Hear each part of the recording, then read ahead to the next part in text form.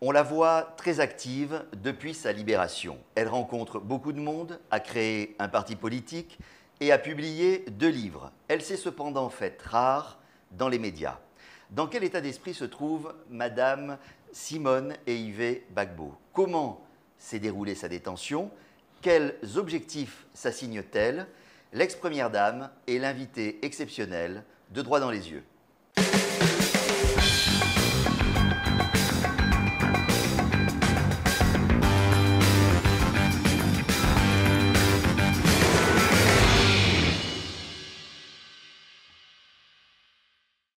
Madame Simone Yves Babo, bonjour. Bonjour. Merci beaucoup d'avoir accepté cette interview sur cette info et merci de nous accueillir chez vous. Merci, le plaisir est pour moi. hein. Vous publiez un ouvrage intitulé Du sous-sol de la République à la Restauration aux éditions Léa Balla. C'est un récit intime où vous racontez en détail votre arrestation et votre détention. Vous ne cachez rien de ce que vous avez vécu ni ressenti à chaque étape de cette période de votre vie qui a duré sept ans. Pourquoi, madame, avez-vous aujourd'hui décidé de publier un tel livre? Alors, euh, j'ai parlé avec euh, la maison d'édition Tabala et elle a accepté de m'accompagner. J'avais des choses à dire euh, sur ma détention, sur cette expérience que j'ai vécue pendant sept années, mais également sur ma sortie de prison, euh, la manière dont j'ai été reçu, accueilli. Alors nous avons fait un premier ouvrage sur euh, ma sortie de prison. Et puis maintenant, cet un- ouvrage ici, Qui est un recueil, beaucoup d'un recueil de vos discours. hein, c'est ça, reçu recueil de discours, d'échanges avec les populations qui sont venues me visiter. Mhm. Et puis ce livre-ci, qui- C'est un récit. euh, c'est un récit. C'est le récit de tout ce que j'ai vécu, Mhm. tout ce que j'ai traversé euh, depuis mon arrestation jusqu'à la sortie de prison. Pourquoi vous, vous est-il paru indispensable de revenir sur les événements douloureux de cette année 2011 Il y a beaucoup de leçons à tirer dans ces événements-là, dans ce que nous avions vécu. Il y a beaucoup de choses qui ne se savaient pas. Il y a eu des images qui ont circulé. Mais comment est-ce que nous avons vécu là-bas? Comment nous avons vécu l'agression? Comment nous avons survécu euh, là-bas? Je me suis dit que c'était important également de donner mon témoignage à ce niveau-là. C'est effectivement tout, tout l'intérêt de, de ce livre. Et si je peux me permettre, Madame, vous donnez à voir aux, aux Ivoiriens qui est Simone derrière l'ex-première dame.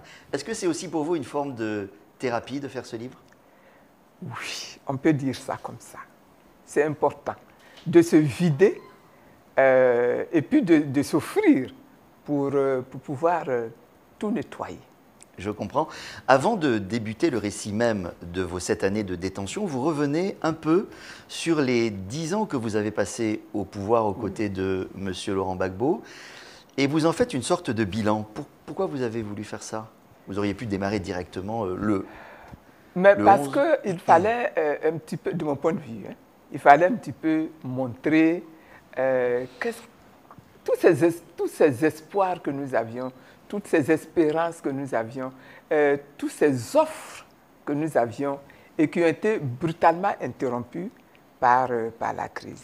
Mais justement, euh, je me suis rendu compte que ben, nombreux chantiers qui vous tenaient à cœur lorsque vous êtes arrivé au pouvoir, donc dix ans avant ces événements, et qui ont été euh, lancés euh, par vous, mais ils sont presque tous restés inachevés. Euh, par exemple, de la suppression de la Cour suprême, la décentralisation, l'électrification des villages, l'assurance maladie universelle, le troisième pont, le pont de Jacquesville. Alors, d'une certaine manière, les Bagbo en ont rêvé et c'est Ouattara qui l'a fait. Les Gbagbo en ont rêvé. Les Gbagbo ont démarré la réalisation. Et puis, avec l'attaque, beaucoup de choses ont été interrompues. Et euh, Ouattara a repris ces chantiers-là. Mais est-ce que dans la partie que, vous, euh, que, que le pouvoir euh, de l'époque euh, contrôlait, vous ne vous dites pas que vous auriez pu faire plus? On ne pouvait pas faire plus. On ne pouvait pas Même faire dans- on dans- aurait, dans tout on le aurait- sud de la on Côte aurait d'Ivoire. sûrement fait plus s'il n'y avait pas eu la crise. N'oubliez pas, que quand la crise est arrivée, il n'y avait même plus d'argent pour travailler. N'oubliez pas cela. On a été obligé de faire une politique financière qu'on a appelée le, budget sécurisé, où on a tout recentré sur des projets précis qu'on n'a même pas pu achever. En arrivant au pouvoir... Et, puis, et puis, et puis excusez-moi, ces chantiers-là n'étaient pas destinés à être achevés en 5 ans, 10 ans. Par exemple, l'électrification villageoise, il est évident que euh, même euh, c'est un programme de long terme, de long terme, mhm, qui a été d'ailleurs bon, qui est en cours de, des réalisations. Euh, en arrivant au pouvoir, vous aviez un programme détaillé, vous, le précisez, mm. mais est-ce que vous-même et surtout votre époux et, et son équipe, est-ce que vous vous sentiez outillé? Aviez-vous suffisamment l'expérience pour pouvoir diriger l'État? Parce que vous dites vous-même que vous vous demandiez comment vous alliez vous y prendre. Est-ce que, lorsqu'on arrive au pouvoir comme ça, on peut dire qu'on a suffisamment d'expérience pour gérer un État? Je pense que gérer un État, ça se fait au jour le jour. Au jour le jour. même quand on a eu de l'expérience auparavant, mais on est toujours dans la création, dans la rénovation. Donc ça se fait au jour le jour. Donc quand nous sommes arrivés au pouvoir, nous n'avions jamais auparavant participé au pouvoir. Mais est-ce que, ça n'a pas contribué Est-ce que ça n'a pas contribué au fait que ben, les, projets euh, peut-être ont eu du mal à aboutir? Euh, Les projets ont eu du mal à aboutir à cause de la crise. À cause de la crise. Euh, sans la crise, les projets tels que nous les avions démarrés, bon, nous aurions été le plus loin possible. C'est sûrement mais le pays était coupé en deux. Vous, au-dessus de Boaké, vous ne contrôliez plus, mais vous contrôliez toute la partie sud du pays. Eh ben, Donc, euh, au, moins, au moins dans, ce, dans cette partie-là, peut-être, euh, on aurait pu aller plus loin dans la réalisation des projets je dis n'importe. Par exemple, le, le, pont de Jacquesville, bon, c'est un des premiers trucs qu'a fait Ouattara d'ailleurs. Ah oui, mais quand Ouattara a pris cela, le chantier était déjà avait déjà démarré depuis. Uh-huh. C'est la même chose pour euh, euh, l'autoroute de Yamsokro. Uh-huh. Les chantiers avaient démarré depuis. Lui, il est venu achever, uh-huh. mais ce sont des choses qui avaient déjà démarré. Alors revenons aux événements de 2011 et commençons par euh, le début de votre récit. Lors de votre arrestation le 11 avril 2011, vous viviez depuis plusieurs jours dans le sous-sol de la résidence présidentielle. Comment s'organiser la vie dans des conditions de promiscuité? Parce qu'il y avait plusieurs dizaines de personnes avec vous, et puis sous les bombes. Comment vous organisiez? Ça n'a pas été des choses, euh, une chose très facile. Alors, nous sommes descendus dans le sous-sol à partir du moment où les bombes ont commencé à être, euh, n'est-ce pas, à éclater sur nos têtes. Mhm. C'est-à-dire à partir du fin euh, nous étions, nous étions en, décembre. Euh, c'est en mars, hein? nous, étions en mars, oui, c'est ça. Mm. Fin, mars. C'est ça. Fin mars. C'est là que vous descendez dans le sous-sol. C'est là que nous descendons dans le sous-sol.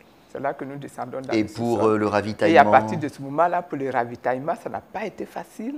Euh, les marchés ne fonctionnaient plus, même dans la ville d'Abidjan.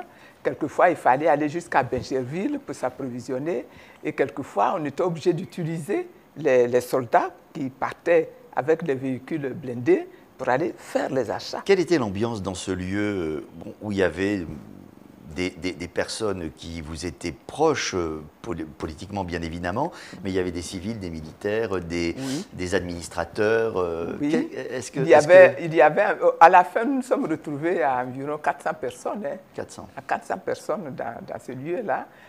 il y avait les soldats, euh, de la garde euh, qui était là, le, euh, GSPR qui était là. Il y avait des politiques.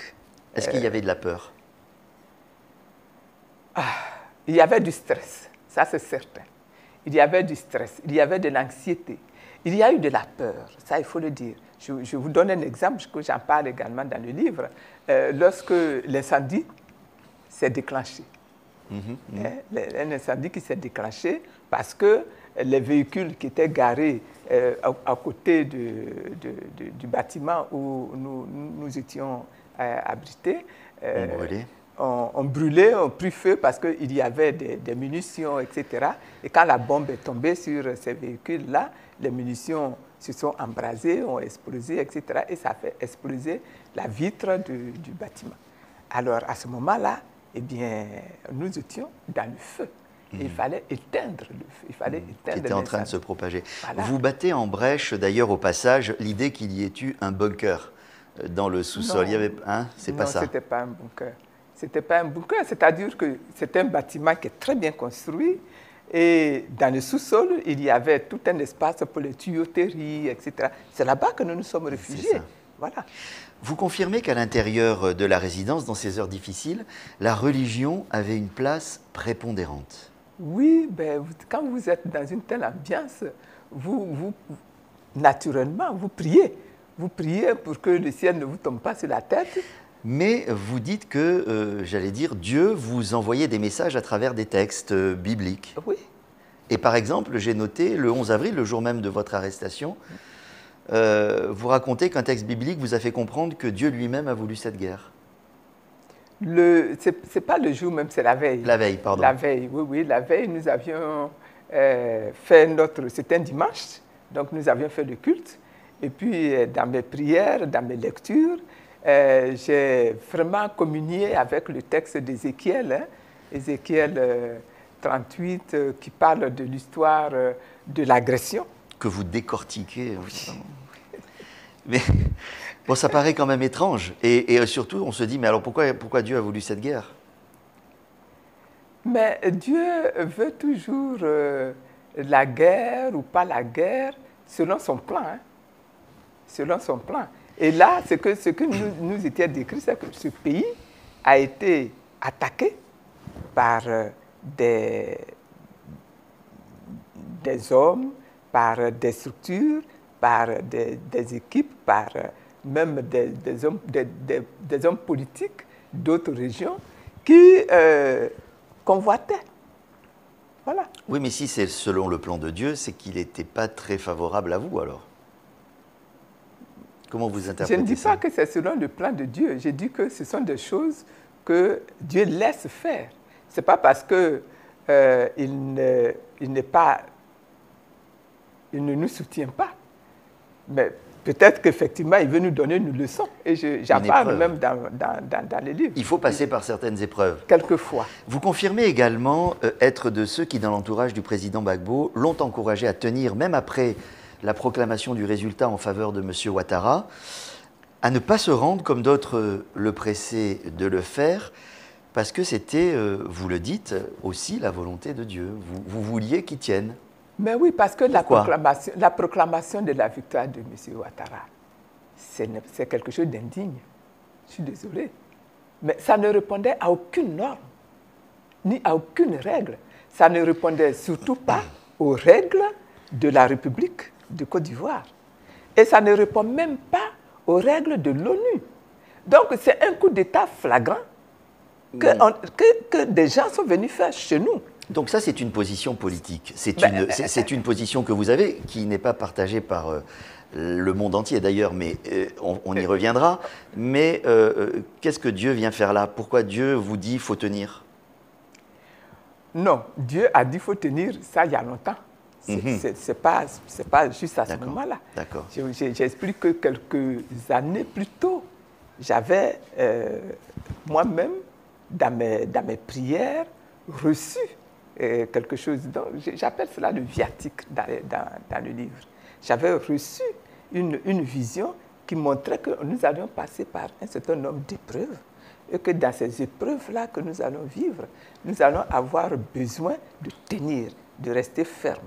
Parce que la volonté de Dieu, là, c'était que euh, nous restions fermes à ce niveau-là et que lui allait intervenir. Est-ce que vous avez le sentiment, madame, que d'une manière ou d'une autre, le président Gbagbo vous en a voulu de ce jusqu'au boutisme que vous aviez? Lui, il semble avoir un peu hésité. Ah, tout le monde hésite. Moi, même moi, j'ai un petit peu hésité avant de, de me déterminer. Tout le monde hésite. Mais est-ce qu'il m'en a voulu? En tout cas, s'il m'en a voulu, il ne m'en a pas parlé. On a eu un débat. S'il m'en a voulu, il l'aurait dit. S'il n'était pas d'accord, il l'aurait dit. Alors, on vient d'en parler. Vous dénoncez à plusieurs reprises un complot mondial contre vous, les, les Bagbo, contre la Côte d'Ivoire, un complot de la France et de l'ONU, avec la complicité de ceux que vous considérez comme des traîtres, les chefs d'États africains, l'Union africaine, la CDAO. Euh, franchement, vous, vous pensez qu'on peut avoir raison contre tout le monde? Eh oui, on peut avoir raison contre tout le monde. On a eu raison contre l'ONU, on a eu raison contre la CPI. On peut avoir raison contre tout le monde. Mais en l'occurrence, à ce moment-là, vous dites euh, la proclamation du résultat ne correspondait euh, à aucune norme. Euh, elle a été reconnue par tous ces gens. Eh bien évidemment, ils sont dans le complot. Sinon, Mais comment est-ce qu'on peut organiser des élections et puis la proclamation se fait dans le QG d'un des candidats? Alors, est-ce que vous voulez Et- bien expliquer pourquoi? Euh, bah, le- le- le- La proclamation s'est faite dans le QG d'un candidat QG. parce la, à la, à la commission électorale indépendante, on n'a pas vraiment laissé la possibilité de Mais proclamer on un ne peut pas faire une proclamation dans le QG d'un candidat. Oui, mais vous- Même si, la- même si euh, ceux de, ce qui n'est pas vrai d'ailleurs, si ceux qui sont chargés d'organiser les élections ne veulent pas entendre ces résultats, c'est eux qui doivent donner les Ceux résultats. qui devaient proclamer les élections, c'est la commission électorale indépendante Voilà. d'abord. Voilà. Est-ce qu'on a laissé la commission électorale indépendante proclamer l'élection Vous vous souvenez Oui. de cette image du papier arraché du porte-parole qui venait proclamer? Voilà. Alors, je me... Alors, il venaient faut- proclamer quoi? Un résultat, apparemment Ils venaient proclamer quoi? Parce que souvent, on a brandi, suppose un résultat. On a brandi cette histoire-là de ce monsieur qui venait proclamer un résultat et puis qui, euh, à qui on a arraché le papier. Il venait proclamer un faux. Et c'est pour ça que le papier lui a été arraché. Donc on n'en sortira jamais de cette, euh, de cette ça- et- polémique. Et, c'est pour ça que le président Gbagbo, quand le problème s'est posé, il a dit, puisque c'est comme ça, recomptons. Recomptons les voix. Comme ça, on va voir qui a raison, qui a gagné, qui a perdu. Pourquoi est-ce que la communauté internationale a refusé cette solution-là? Pourquoi? Vous pensez toujours aujourd'hui euh, que M. Laurent Gbagbo a gagné les élections Oh oui, présidentielles de Ça, j'en 2010 suis absolument certain. J'en suis absolument certain. Mais je suis également certaine de ce que le- ceux de la France, ceux de l'ONU, ceux de l'Union européenne avaient déjà décidé que c'est M. Alassane qui allait gagner les élections. Donc, ils ont tout fait pour que les résultats soient des résultats favorables à M. Alassane. Je voudrais comprendre cette notion de complot. Euh, pourquoi, pourquoi M. Gbagbo avait été élu euh, normalement en, en 2010 Ouais. Pourquoi y aurait-il eu un complot du monde entier, de toute l'Afrique, contre un frère africain euh, qui a été élu et qui Et ce n'est est pas la première fois que ça, ça arrive. hein. Non, mais pourquoi? Est-ce que vous avez dénoué Est-ce que vous avez au moins compris pourquoi on vous en a voulu à ce point? On n'a jamais voulu de nous à la tête de l'État. C'est ça qui est le vrai problème. Dès le début, depuis le temps de fouette. Donc quoi? Eh ben donc, on, on a organisé les choses en conséquence. En 2010, lorsque nous arrivons au pouvoir, on n'est pas attendu. C'est une surprise. C'est une surprise. Et donc, dès qu'on est arrivé au pouvoir, les attaques ont commencé. N'oubliez pas, la première attaque, ça a été dès 2011. Ensuite, 2000, euh, pardon, 2001. Ensuite, 2002. Donc, les attaques ont commencé tout de suite. 2002, le pays est coupé en deux. Et on voit les- les hommes défiler. On a vu les, les- les- les- les ministres français venir, aller parler avec les rebelles à Boaké, revenir, etc. On a vu tout ça. On a vu ensuite euh, euh, la France organiser euh, le- la, la réunion de Marc VI, alors que déjà, au niveau du Togo, on était en train de trouver une solution à ce, à- à ce conflit interne à la Côte d'Ivoire. On a vu ça. On a vu les, les- les- les- les troupes de, euh, à- à venir attaquer la Côte d'Ivoire depuis euh, le Burkina Faso et la France refusait de mettre en action justement les accords de défense. J'ai du, mal à- du mal quand même à, à imaginer le fait que euh, on ne voulait pas de nous au pouvoir, Ah ben, ça, soit, ça soit autant de monde que ça. Ah ben si, mais malheureusement, c'est comme ça que ça se passe dans le monde. hein. D'accord. Madame, retour à cette journée euh, au 11 avril 2011. C'est le jour de votre arrestation avec M. Bagbo et les personnes qui se trouvaient avec vous dans le sous-sol de la résidence présidentielle. Vous racontez crûment une scène euh, un peu difficile. Vous dites avoir été roué de coups, que vos habits ont été déchirés et que c'est quasiment dénudé que vous êtes arrivé à l'hôtel du Golfe. Ça s'est passé ainsi. Ça s'est passé ainsi. Un fait peut paraître euh, un peu anecdotique, mais il, il m'a frappé. Au milieu de ce tumulte, il y a un homme, un soldat FRCI, qui vous est venu en aide. Il vous a aidé à vous relever alors que vous étiez au sol en train d'être euh, frappé. Et il vous a protégé jusqu'au véhicule qui allait vous emmener vers le golfe. Mais alors, une fois arrivé au véhicule, il vous a demandé de l'argent. Et quelle a été votre réaction? Ben, je lui ai donné ce que j'avais. À savoir?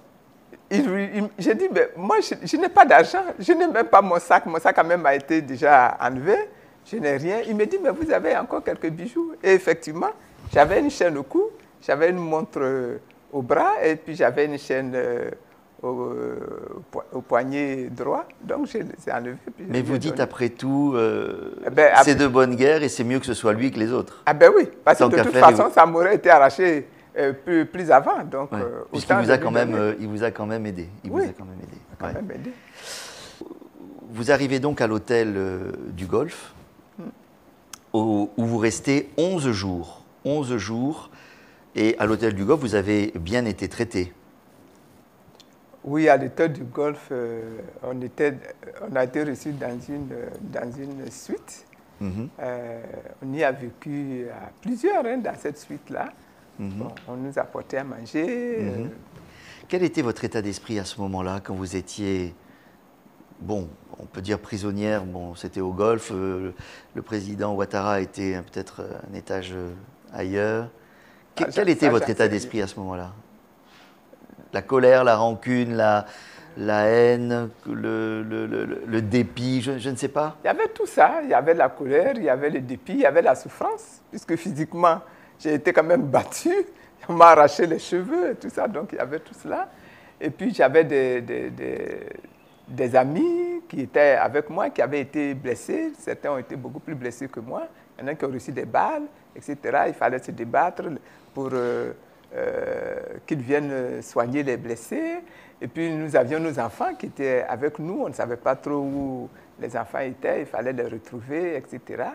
Et il fallait négocier pour que tout ce personnel-là qui nous servait à la résidence et qui avait été amené avec nous euh, à l'hôtel du Golfe soit libéré et puisse partir. Donc, en même temps, on se battait pour obtenir un minimum de, euh, de, de- de libération pour le personnel qui était avec nous. En même temps, il fallait se battre pour, euh, euh, pour manger quelque chose d'assez décent. En même temps, il fallait, il fallait chercher. Alors, vous, vous dites que le, le président Ouattara n'est pas venu vous voir, mais vous avez quand même reçu la visite de quelques personnes. Reçu la, on a reçu la visite de principalement euh, deux personnes. Le, euh, président actuel du, du Sénat, M. Aoussou Jano, Mhm. qui est venu avec euh, le, M. Didier Madi, également du, du PDCI. Mhm. Ce sont les deux qui sont venus nous saluer. Euh, nous, bon, on a parlé avec eux. Vous réconfortez peut-être? Oui, bon, ils voulaient voir un petit peu euh, dans quel état on était, Mhm. etc. Alors, je, je l'ai dit, vous êtes resté 11 jours, mais vous êtes parti quasiment la dernière. Euh, Non, je ne suis pas partie la dernière. Après moi, il y a eu encore quelques personnes qui étaient Ah oui. en place et qui sont parties. Moi, je suis partie le 22. C'est ça. Je suis partie le 22, Le 22, départ une nuit une nuit à vers 2 une du- destination qui vous était inconnue et qui s'est avérée être euh, évidemment Être, la euh, ville oui. Et là, vous êtes placé en euh, résidence surveillée, dans une maison assez confortable, dites-vous, et qui appartenait d'ailleurs à une dame décédée que vous connaissiez assez bien. Oui, oh, j'étais amie à cette dame. C'est un hasard ou- la, je n'en sais rien. Moi, je pense que c'est un bon hasard, en tout cas. Mais c'est la, la maison du général euh, Kone Youssouf, Mhm. qui était, à, à cette époque-là, il était, il, était, il était de grand chancelier. Et c'est son épouse et, et moi, nous étions amis. Et elle était décédée un an auparavant. euh, et puis, j'arrive là-bas au dîner. Mais vous y voyez un signe, euh, j'allais dire, euh, apaisant, en vous disant dans cette maison, je peux être bien. Oui. parce que c'était la maison d'un ami. C'est ça. C'était la maison d'un couple ami. Et, donc, et, puis j'y ai vécu sans trop de, de grosses difficultés. Oui, oui. Et alors justement, quel était le quotidien de, de Simone Mabo dans cette euh, résidence surveillée? Bon, vous savez, je suis une femme très active ordinairement. Et puis voilà, brusquement que j'arrive à Odiéné et je n'ai quasiment rien à faire. Donc, c'était Il faut trouver l'occupation. Il faut trouver l'occupation. Alors, bon, euh, j'en ai profité pour m'instruire énormément en la matière euh, de la Bible, de la religieuse. Voilà, c'est ça. Donc, il y avait beaucoup, de prières, beaucoup, d'études de, la Bible, beaucoup, de, lectures. Euh, de, lectures. Mhm. Et puis, bon, mais à côté de cela, et puis même, vous faites venir à un moment donné des DVD, mais qui, euh, qui sont aussi des... Des enseignements. Des enseignements, ce que vous appelez des enseignements. Beaucoup d'enseignements. Ouais. ouais. Donc, vous passez beaucoup de temps dans, dans, la religion et à prier. À prier. À prier. Vous avez un et jardin. À, et à me cultiver. C'est une grande cour, hein. c'est une euh, cour de un hectare. Hein. Ah oui, ah oui c'est et, et, vous avez cultivé un peu de... de... Et oui, j'ai fait un peu de tout ça. J'ai fait un peu d'élevage, élevage de poulets, élevage de lapins. Euh, je, me suis évertué à faire, à faire, un peu de culture vivrière, mais, mais là, je n'ai pas eu assez de force pour, pour aller jusqu'au bout. Mais j'ai fait un petit peu de tout ça. Et puis, euh, quand euh, nous étions dans la saison des, des fruits, je faisais des, jus, des trucs comme ça également. Alors évidemment, il y a la privation de, liberté, mm. mais vous étiez détenu dans des conditions correctes. Oui, les conditions étaient correctes. Mm Les conditions étaient correctes. Au début, ça a été un peu dur. Avec euh, les FSI qui étaient là, qui étaient chargés de nous garder, ça a été un peu dur. Bon, on a dû s'affronter. Puis bon, après, on s'est respecté et puis après... On Je voudrais vous poser une question sur le terme que vous employez, qui peut paraître étonnant, qui peut choquer aussi euh, certaines personnes, celui de déportation. Et vous l'employez à dessein ce mot, parce que Odiéné est à 1000 km d'Abidjan. Est-ce que vous comprenez que ça puisse euh, surprendre l'emploi de ce terme? Bon, c'est quand même en Côte d'Ivoire. Oui, c'est en Côte d'Ivoire, mais ce n'est pas parce que c'est en Côte d'Ivoire que ce n'est pas de la déportation. La déportation, ce n'est pas forcément l'étranger. Hein, vous savez, on peut mm. être déporté dans son propre pays d'une région à une autre. Mais pourquoi vous employez ce mot On aurait pu dire euh, transférer, euh, déplacer, incarcérer, mais déportation. Non, c'est un terme spécial. Tous ces, termes que vous utilisez, hein. transfert, euh, incarcération, ça répond à des, à des faits juridiques ou judiciaires qui sont précis. Si vous me transférez, il y a un mot. Et si je vous déporte, il y a quoi? Si vous me déportez, c'est une décision politique qui a été prise. Qu'est-ce que vous mettez dans, ce mot? C'est ça que je veux comprendre. alors, je vais expliquer. Hmm. Moi, je suis ivoirienne. Je suis à, Abidjan. Je suis députée. Si on vient m'arrêter, ça doit se faire sur, le, sur n'est-ce pas euh, Une décision. Une décision. Euh, qui est écrite. Même si on me, on me met en résidence surveillée, parce que quand j'ai posé la question, hein, j'ai posé la question, pourquoi est-ce que vous m'avez amené ici à Ojini Ojini, ce n'est pas chez moi. Pourquoi est-ce que vous m'amenez ici à Ojini Ils me disent, non, c'est le chef de l'État qui a demandé de vous mettre en résidence surveillée à Ojini. Bon, un chef d'État, il a le droit de mettre quelqu'un en résidence surveillée. Mais ça répond à une démarche très précise. Une démarche mhm. judiciaire très précise. Et Vous voulez dire que ça a été une décision d'opportunité? Non. Je veux dire que c'est une décision qui est prise dans le cadre du, du règlement d'un conflit, mais où on, prend, on prend des libertés avec, avec les libertés des hommes et, des êtres, des citoyens. Donc, vous maintenez ce terme Je maintiens, je maintiens ce terme, parce que ça a été un débat, vous savez. Et j'ai interrogé le président, enfin le, le procureur qui était, qui était venu, je l'ai interrogé, j'ai interrogé euh, les, les, juges qui étaient venus pour euh, instruire euh, ce dossier-là auprès de moi, je les ai interrogés. Vous m'avez fait venir ici, pourquoi? Ils me répondent, oui, mais on vous a mis en résidence surveillée. J'ai dit, bah, si, si, vous me mettez en résidence surveillée, donnez-moi le, décret Parce que c'est un décret qui met quelqu'un en résidence surveillée. Donnez-moi le décret qui me met en résidence surveillée. Et il n'y a pas de décret. Alors, dans cette maison, il y avait euh, un couple de, jeunes burkinabés qui s'occupaient de la maison et de vous. Et, finalement, vous avez lié des liens d'amitié avec bonne relation jusqu'aujourd'hui. Oui, oui. Vous dites que bon, vous, les, vous, êtes toujours en relation avec eux Oui, toujours. La dame s'appelle Sali, Salimata, mhm. et le monsieur, euh, son, mari, oh, ce sont des gens très très bien. Ils ont des enfants, ils ont votre, votre livre est, très détaillé, il y a beaucoup de péripéties, même à l'intérieur de la maison, que, que vous racontez, qui sont intéressantes. Et franchement, le, lecteur pourra euh, vraiment comprendre comment vous viviez euh, dans cette période-là. Je vous demanderai seulement quel a été le pire moment que vous avez passé là-bas et quel a été le meilleur. Bon, alors, le pire moment, c'est quand euh, je suis revenu de la Pisam, quand je suis remonté là-bas, après la Pisam. Oui, parce qu'il y a eu, juste pour, préciser, il y a eu, un épisode où vous avez été euh, euh, emmené à la Pisam pour faire des examens, mais vous n'êtes pas resté, on vous a ramené. On ramené. Mhm. Il y a eu deux moments durs comme ça. Il y a eu ce moment-là. Vous avez cru que vous retourniez à Abidjan, mais en fait, euh, la mauvaise surprise pour vous, ça a été que vous retourniez. On m'avait dit que je revenais à Abidjan. J'ai même posé la question. Ouais, c'est pour ça que c'est très frustrant dans ce cas-là. J'ai demandé, est-ce que je pars avec toutes mes affaires? Est-ce que... On me dit, non, tu pars.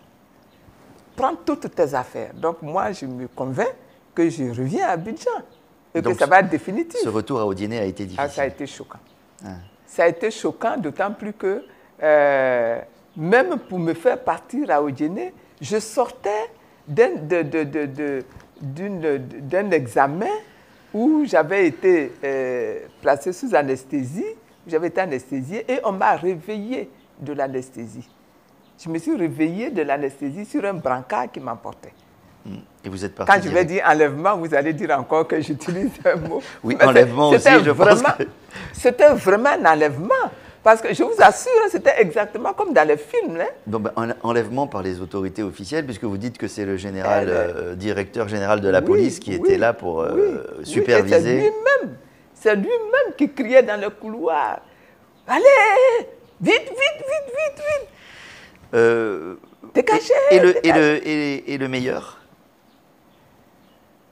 Ah, J'ai eu de bons moments où j'ai pu euh, communier, j'allais dire, avec euh, ceux qui me gardaient, par, des moments de fête où, où j'ai offert des repas. euh, où on a vraiment mangé avec les gardes, avec les FSI.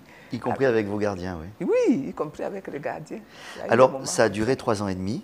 ça a duré trois ans et demi et les procès ont commencé et là on vous a ramené à Abidjan. C'est ça. Vous avez logé à l'école de gendarmerie et là vous racontez votre, votre arrivée. Le général, le colonel qui commande l'école de gendarmerie, il est, il est, au petit soin là. Il, il, essaye de se mettre en quatre pour euh, vous faire... Euh, un espace qui soit potable Ils avaient commencé à, aménager cet espace-là avant que je n'arrive. Mhm. Euh, mais euh, quand je suis arrivé, ce n'était pas encore disponible parce qu'ils avaient fait de la peinture. Que la peinture, l'odeur de la peinture était encore très forte. Mhm. Et donc, euh, ils m'ont mis dans un espace qui n'était pas... Qui n'était pas potable. qui n'était pas potable. Mais finalement, je, me suis rendu compte que je, je serais resté là-bas six mois et, on, on serait, et il y aurait l'odeur de la peinture pendant les, six mois. Euh, parce que, bon, mais ils ont tout fermé. Il n'y avait aucune ouverture. qui laissait passer l'air, oui. Qui laissait passer l'air. Donc, c'était confiné. Voilà, c'était confiné. Euh, donc, c'est la période des procès. Vous avez eu deux procès. Euh, au premier, vous avez été condamné à 20 ans de réclusion pour atteinte à la sûreté de l'État. Et au second, vous avez été acquitté des chefs de crimes de guerre et de crimes contre l'humanité. Euh, vous avez des mots très durs pour la justice ivoirienne. C'est vrai que je n'ai pas été très tendre, mais la justice ivoirienne n'a pas été tendre non plus. Mais était, la justice ivoirienne était-elle en bon état de fonctionnement avant même cette période-là? En tout cas, elle fonctionnait. Je ne peux pas dire que tout le monde était satisfait de, ce qui se passait dans les tribunaux, mais au moins, elle fonctionnait. Vous n'êtes pas satisfaite de la manière dont elle a fonctionné dans votre cas, et on peut le comprendre, mais, mais elle fonctionnait là. elle fonctionnait. Mais elle fonctionnait moins bien encore que c'était le cas auparavant. Qu'est-ce que vous reprochez donc à la, au fonctionnement de la justice tel que vous l'avez vécu? Bon, hein, hein, je pense, je l'ai dit un petit peu dans mon livre, hein, mhm. je, pense que euh, à cette époque-là, enfin, l'époque où on a eu le procès, euh, les, juges ont subi beaucoup de pression des, des autorités de pouvoir. Voilà je pense. La pression a été très forte sur les juges. Et je pense que beaucoup de juges ont cédé à ces pressions-là.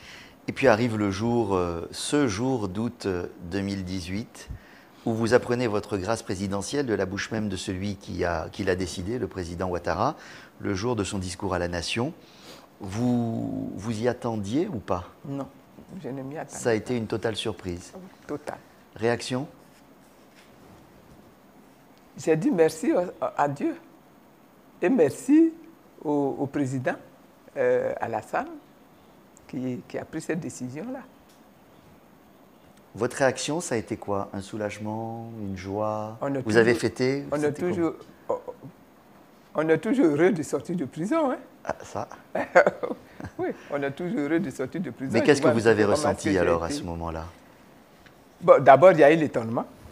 Euh, mais ensuite, il y a eu la joie de, de, retrouver la liberté, de retrouver ma famille, de pouvoir retrouver mes enfants peut-être, etc. Et non, il y a eu beaucoup de joie. Mais politiquement, vous avez pris cette euh, décision comment?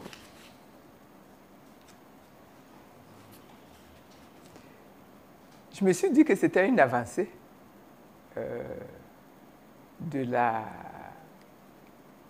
comment je pourrais dire, de la justice.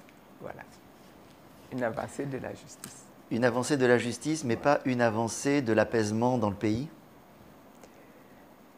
Je pense que ça a été ressenti par tout le monde comme un acte d'apaisement dans le pays.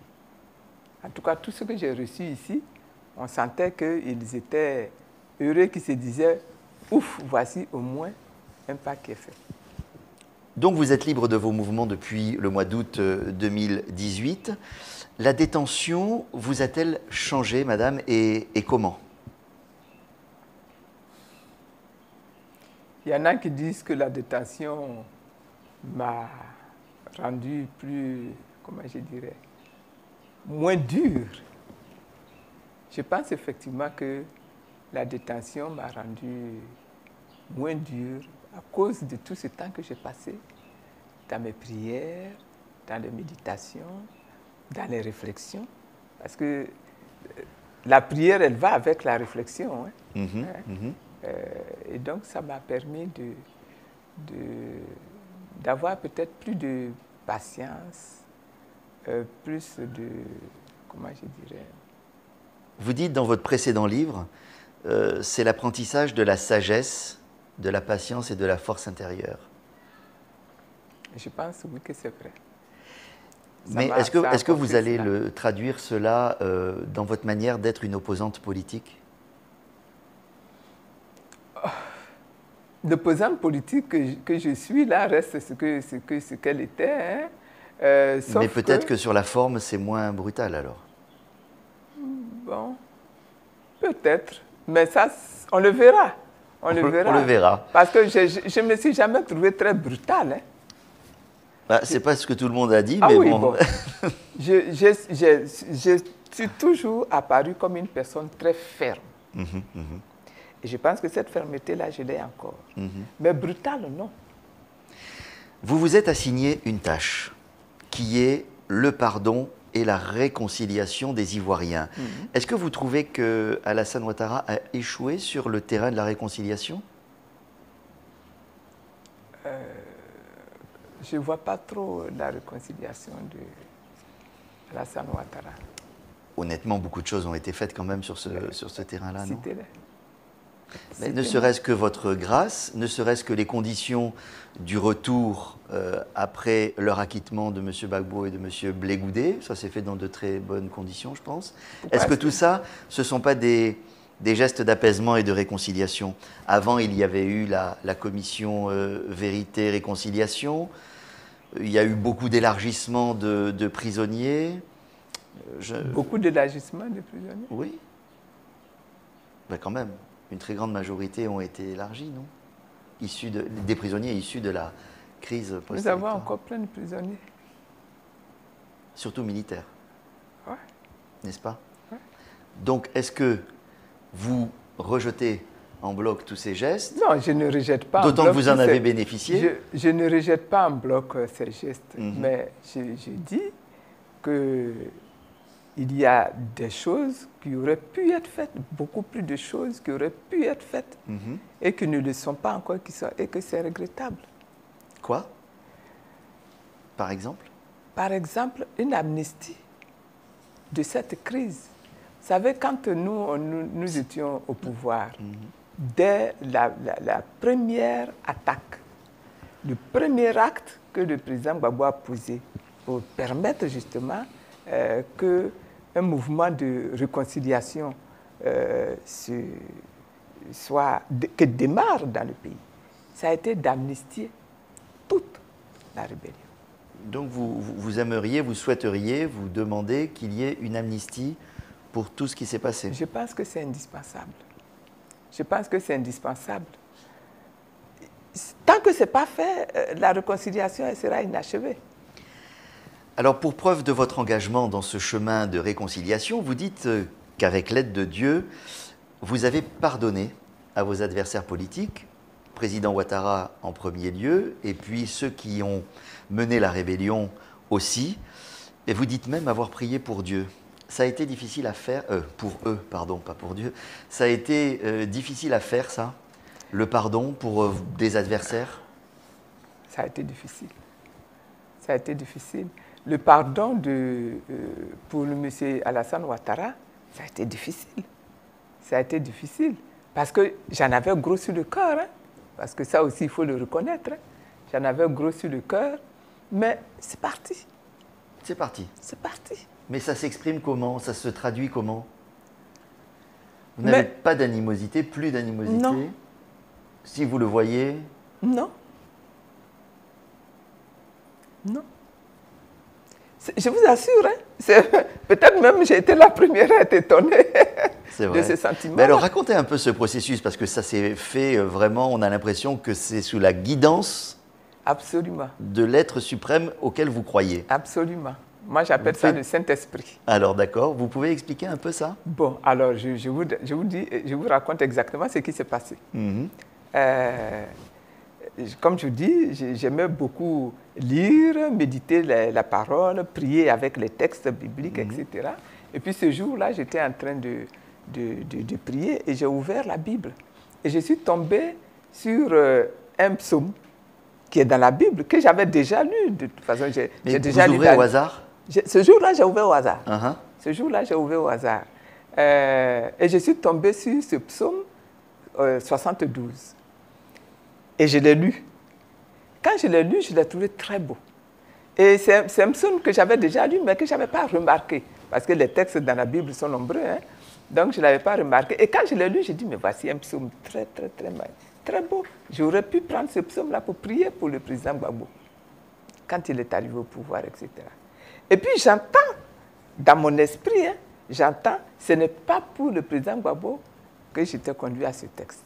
C'est pour M. Alassane Ouattara. Surprise. Sursaut. Comment ça? Alors, euh, la voix me redit, c'est pour M. Alassane Ouattara. Je regarde de nouveau les textes et puis je dis, ben, tiens, regarde. Ce texte-là pour Alassane Ouattara? Mais comment ça? C'est pas possible. Il dit, oui, c'est pour Alassane Ouattara. Prie pour M. Alassane Ouattara avec ce texte. Et ça a marché?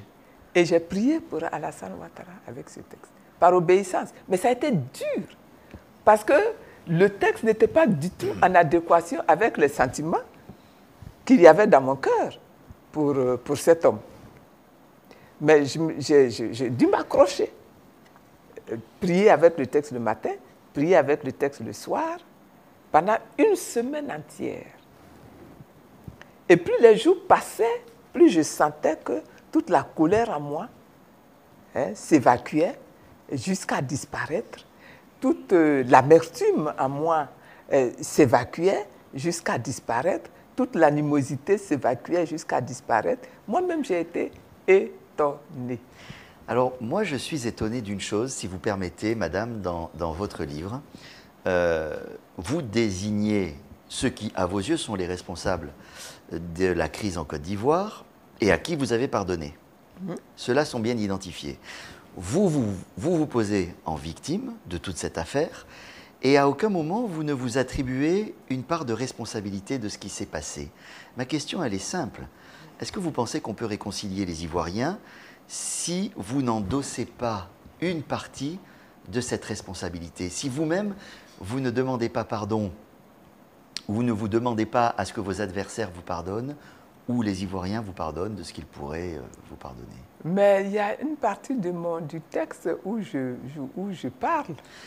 Je parle. C'est pas très précis. C'est pas ah, très. Ah, ah. C'est vraiment. Euh, on peut pas dire que vous que vous clamez réellement. Voilà, je prends ma part de responsabilité. J'assume cette part de responsabilité. Je demande pardon aux Ivoiriens. Mais je l'ai fait. Je ben, en tout cas, même au sortir de la de, de, de la prison, je l'ai fait. Je l'ai fait. Moi, ma part de responsabilité, je la prends. La part de responsabilité, elle est, où? Euh, Elle n'est pas dans les, dans les reproches qu'on m'a fait. Quand on me dit que j'ai euh, financé des jeunes pour aller attaquer, pour aller... Je n'ai aucune responsabilité à ce niveau parce que je ne l'ai pas fait. Et ça, je le dis. Et ça, je le dis. Euh, on me dit que j'ai euh, applaudi quand des femmes ont été agressées à Bobo, c'est faux. Et donc ça aussi, je le dis. Mais la responsabilité, vous savez, quand vous dirigez un pays et qu'il y a une crise comme ça qui arrive, vous êtes responsable parce que c'est vous qui êtes à la tête du pays. Donc s'il y a des problèmes, vous êtes forcément responsable. Et à ce niveau-là, je dis, je demande pardon. Bizarrement, ce n'est pas écrit aussi clairement dans le livre, mais euh, c'est très bien que vous le disiez. Ah, euh, moi, je, l'ai dit plusieurs fois, je le pense. Hein. Quand vous dirigez un pays, en plus, euh, quand vous dirigez un pays, s'il y a des calamités dans le pays, s'il y a des problèmes dans le pays, vous êtes responsable. Alors, posez peut-être un peu différemment, est-ce qu'il y a des actes que vous regrettez ou des actions que vous auriez fait différemment? Finalement, à l'époque euh, de la crise ou quand vous étiez au pouvoir Je ne vois pas. Je ne vois pas. Je pense que ce que j'ai fait, c'est ce que j'aurais refait. Et ça n'aurait pas eu les mêmes résultats Je ne sais pas. Je ne sais pas. Peut-être que je n'en ai pas assez fait, mais assez fait quoi? Je ne sais pas. Est-ce que vous avez des regrets sur cette période? Ah, Il y a eu des morts. Il y a eu des morts et ça, je le regrette. Il y a eu beaucoup de souffrances. Il y a eu beaucoup de destruction. Et ça, je le regrette. Hein? Ça, je le regrette. Comment, Madame, euh, concrètement, de la place que vous occupez, c'est-à-dire euh, présidente d'un parti politique d'opposition, qui se donne la tâche d'essayer de réconcilier ses concitoyens entre eux, comment est-ce que vous-même vous, allez procéder? Quelle est votre méthode? Qu'est-ce que vous allez faire pour ça?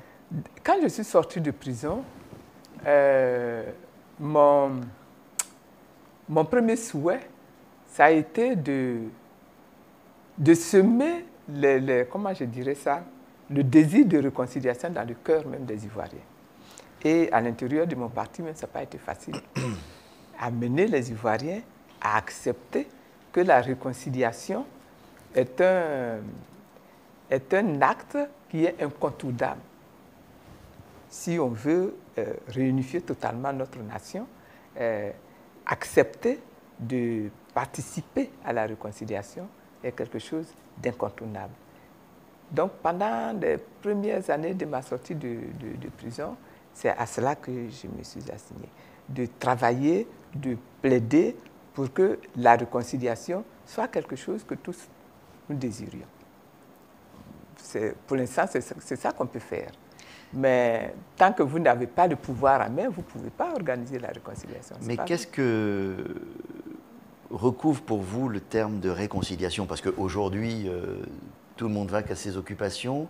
Les voisins ne, savent pas forcément de quelle euh, ethnie d'origine sont, leurs, propres voisins. Euh, les choses, le pays fonctionne.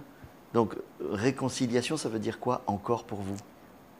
Ouf vous faites là un, tableau bien idyllique de ce qui se passe dans ce pays. Allez parler un petit peu au ouais chez eux. Allez parler un petit peu au baoulé chez eux. Allez parler un petit peu au BT chez eux. Il y a encore beaucoup de problèmes à ce niveau. Dans le cœur. Oui. Dans le cœur, il y a encore beaucoup de problèmes. Et il faut que ces problèmes-là soient réglés. Mhm. Et ils se posent de plusieurs manières d'ailleurs. Hein. Pour certains, euh, il faut leur restituer ce qui leur a été arraché. Pour d'autres, il faut les aider à faire leur deuil des parents qu'ils ont perdus.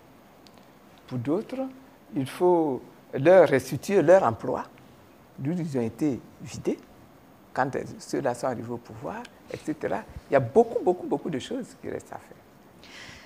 Comment voyez-vous les, prochaines euh, échéances électorales à venir, et notamment bien, sûr l'élection présidentielle de 2025 Pensez-vous qu'elles se feront dans le calme, dans le respect mutuel, la normalité démocratique, je dirais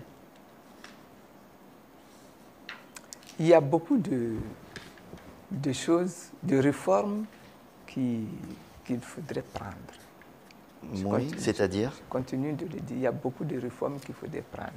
Par exemple, au niveau euh, du découpage électoral. Mhm. Il faudrait euh, s'asseoir et puis réaliser un découpage électoral qui soit plus juste que ce qui existe actuellement. Ça, ce n'est pas fait.